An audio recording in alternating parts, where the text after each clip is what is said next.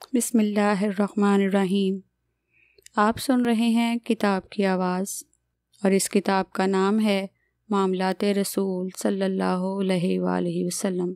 बाब नंबर दो, हज़रत मोहम्मद सल्लल्लाहु अलैहि वसल्लम के जद्द अमजद, हज़रत इब्राहीम अलैहिस्सलाम हज़रत मोहम्मद सल्लल्लाहु अलैहि वसल्लम ने इस दीन इलाही की तकमील की, जिसकी शमा हज़रत आदम अलैहिस्सलाम हज़रत नू हज़रत इब्राहीम हज़रत दाऊद हज़रत मूसा अलैहिस्सलाम और हज़रत ईसा अलैहिस्सलाम ने रोशन की थी। हज़रत इब्राहीम अलैहिस्सलाम इराक़ के शहर उर में तकरीबन 2000 साल कबल मसीह पैदा हुए। हज़रत इब्राहीम अलैहिस्सलाम के वालिद का नाम तारुख था। बाज़ मौरखीन आज़र भी बयान करते हैं। इनका ख़ानदान बुतपरस्त था और लकड़ी के बुत बनाकर फ़रोख्त करता था। हज़रत इब्राहिम अलैहिस्सलाम के ज़माने के लोग सूरज, चाँद और सितारों की भी परस्तिश करते थे। जब हज़रत इब्राहीम अलैहिस्सलाम शऊर की उम्र को पहुँचे तो उन्होंने अपने वालिद से कहा, अब्बा जान, आप क्यों इन चीज़ों की इबादत करते हैं? जो ना सुनती हैं, ना देखती हैं और ना ही आपके किसी काम आ सकती हैं। अब्बा जान, मेरे पास एक ऐसा इल्म है जो आपके पास नहीं आया। मेरी बात माने, मैं आपको सीधा रास्ता बताऊँगा। अब्बा जान, आप शैतान की इबादत ना करें। वो तो रहमान का ना फरमान है। अब्बा जान, मुझे डर है। अल्लाह ताला से आपको सज़ा मिलेगी और आप शैतान के साथी बन जाएँगे। हज़रत इब्राहीम सलाम के वालिद ने जवाब दिया ए इब्राहीम, क्या तू तो मेरे मबूदों से रूगरदानी कर रहा है? अगर बाज ना आया तो मैं तुझे संसार कर दूँगा। जाओ, मेरी नज़रों से हमेशा के लिए दूर हो जाओ। हज़रत इब्राहीम अलैहिस्सलाम ने अपने वालिद से नरमी और शफकत से बात की।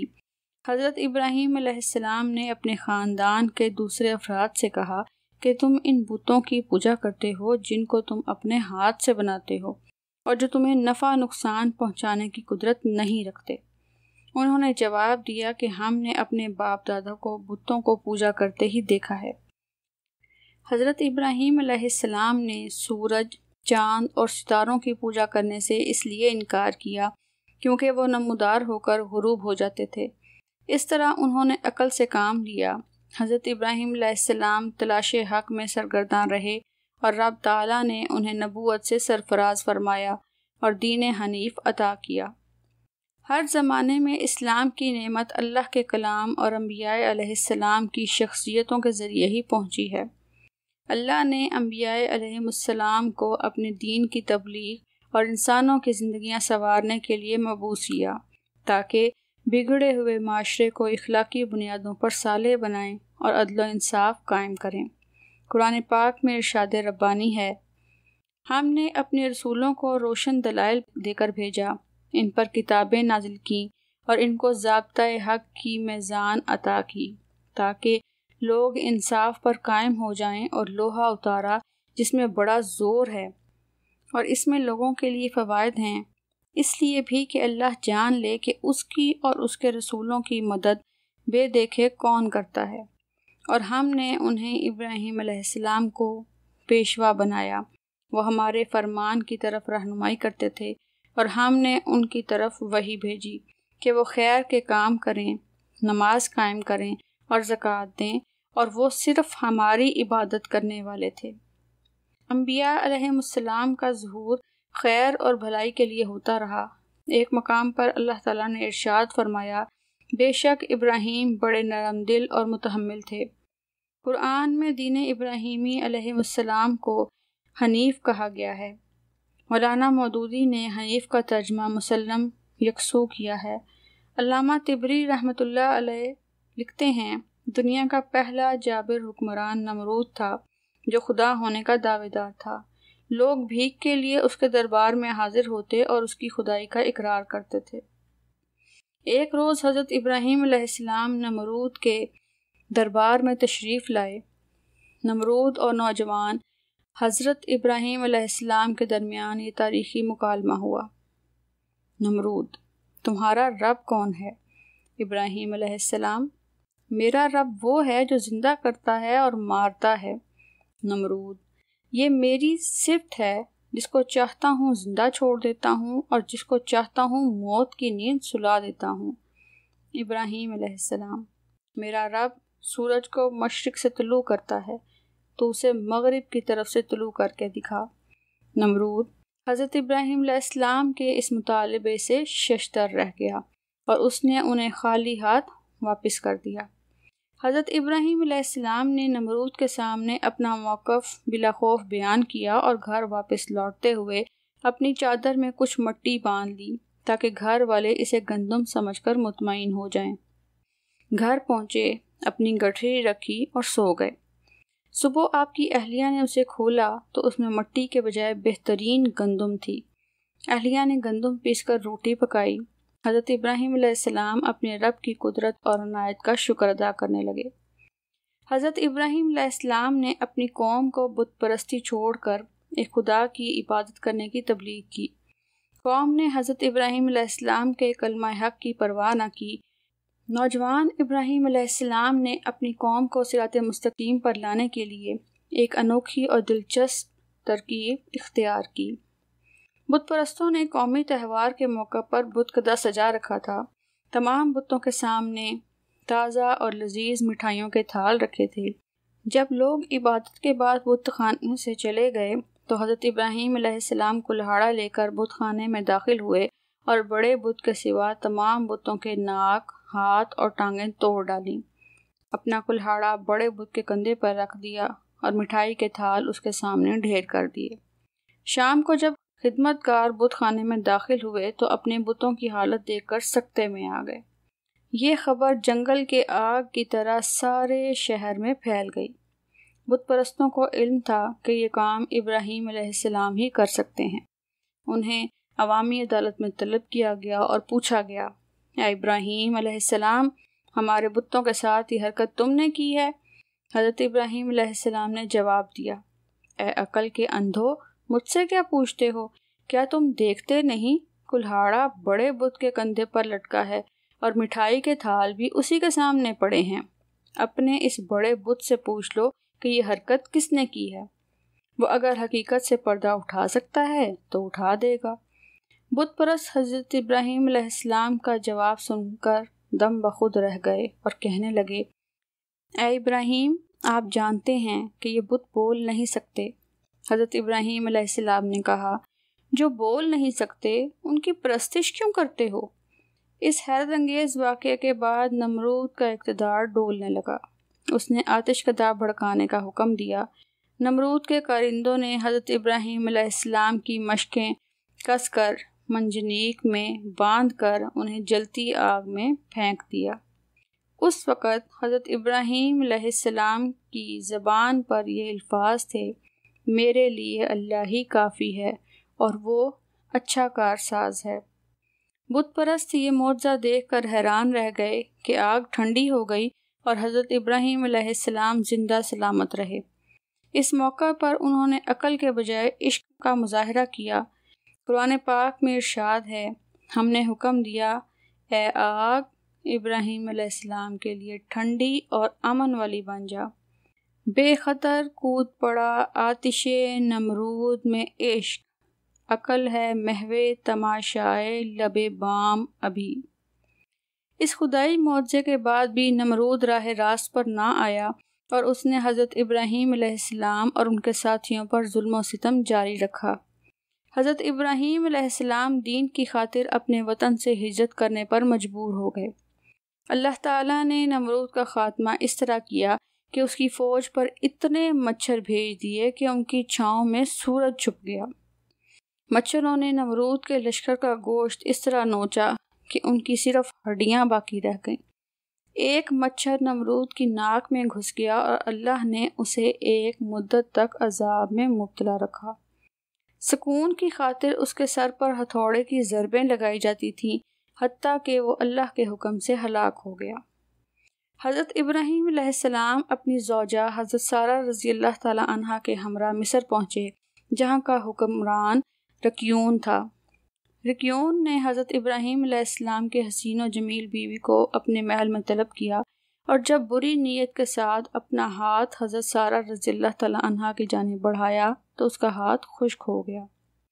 ये मुआवजा देखकर रक्यून के होश उड़ गए और वो जान गया कि हज़रत सारा रज़ी अल्लाह तहा अल्लाह की बरगजीदा हस्ती हैं।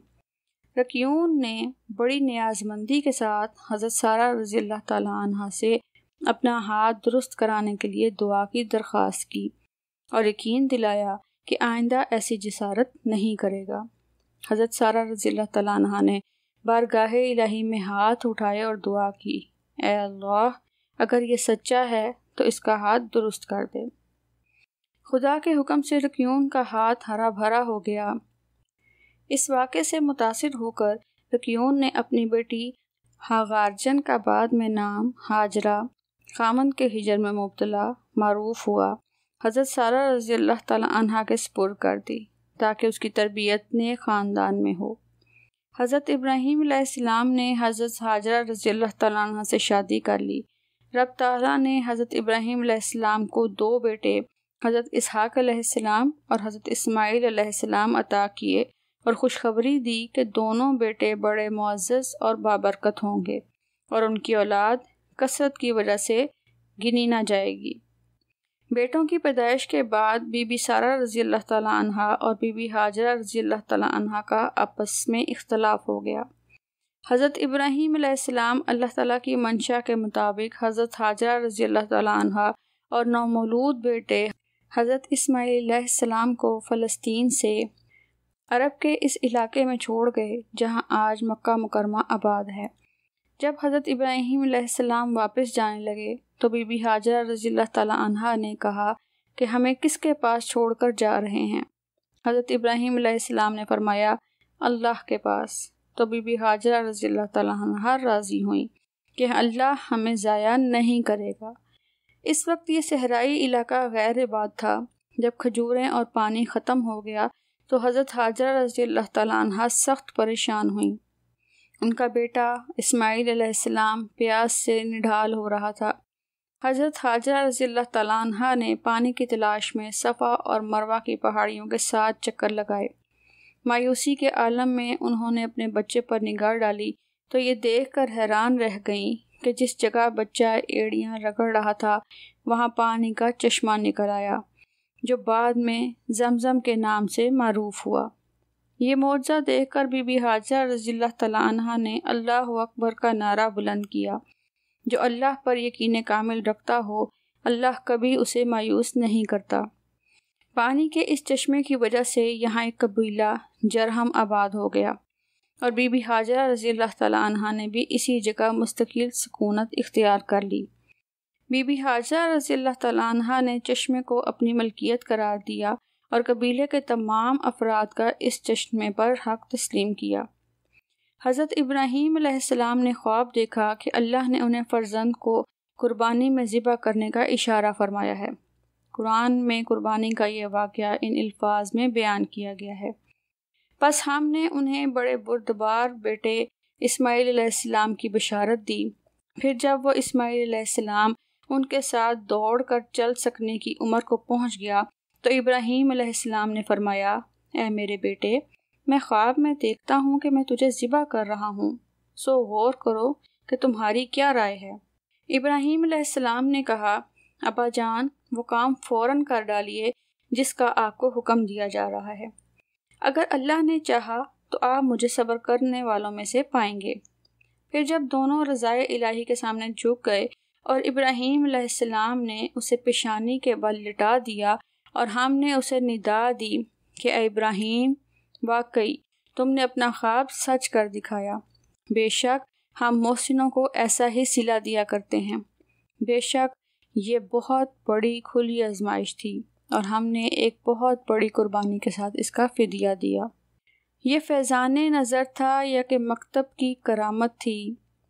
ये फैज़ान नज़र था या कि मकतब की करामत थी? सिखाए किसने इस्माइल अलैहिस्सलाम को अदाब फर्जंदी इकबाल रहमतुल्लाह हज़रत इब्राहीम अलैहिस्सलाम और हज़रत इस्माइल अलैहिस्सलाम दोनों बेमिसाल सब्र का मुजाहरा करके इस आजमाइश में सुरखरू हुए। हज़रत इब्राहीम खुदा के नबी और हज़रत इस्माईल के वालद ग्रामी थे। मगर इस इस्तेहकाक के बावजूद उन्होंने अपने बेटे पर हुक्म सादर करने के बजाय इसकी मंशा और राय तलब की।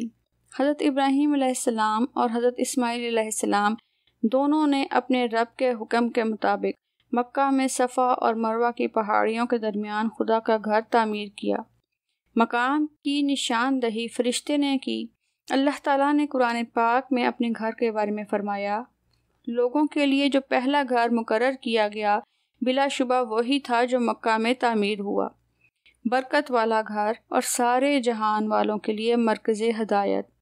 इसमें अल्लाह की खुली निशानियाँ हैं, मकाम इब्राहीम है और जो कोई इसमें दाखिल हो जाए, उसे अमन मिल जाता है। खाना काबा की तमीर के लिए हज़रत इस्माईल ने एक मज़दूर की हैसियत से काम किया।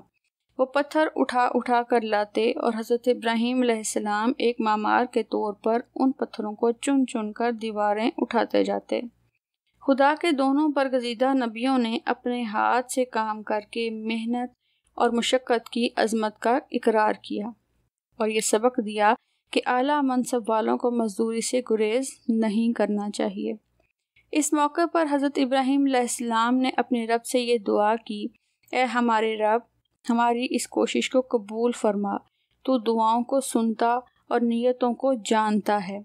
ए परवरदिगार तो हम दोनों को अपना अतात गुजार बना और हमारी नस्ल से एक ऐसी जमात पैदा कर जो तेरी अतात गुजार हो। और हमें अपनी इबादत के तरीके बता और हम पर इनायत की नज़र रख। तो बड़ा बख्शने वाला और मेहरबान है।